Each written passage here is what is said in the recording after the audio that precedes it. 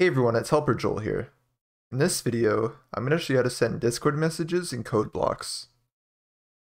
If the message that you're sending is only one line, what you can do then is before your message, type a backtick, and then you can type your message, and then put a backtick after it.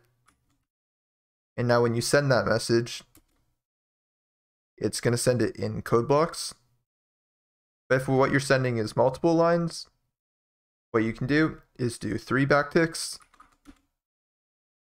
and then hit enter, and type your messages on multiple lines. Then after that, do three more backticks.